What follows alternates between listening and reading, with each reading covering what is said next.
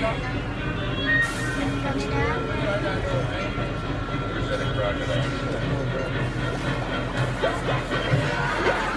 remain seated, please.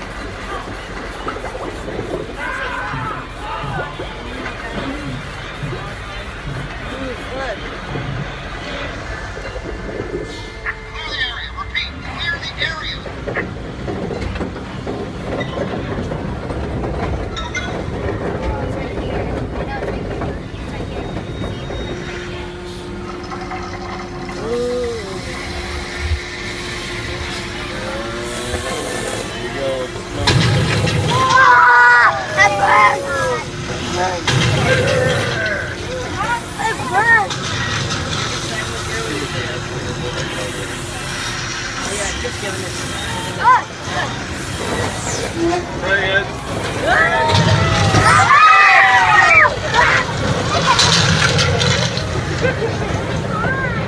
if you're thinking that shark looked pretty fake, well, that's exactly how it looked in the film. Yeah, that's exactly the same type of shark that they used. And his name is Bruce.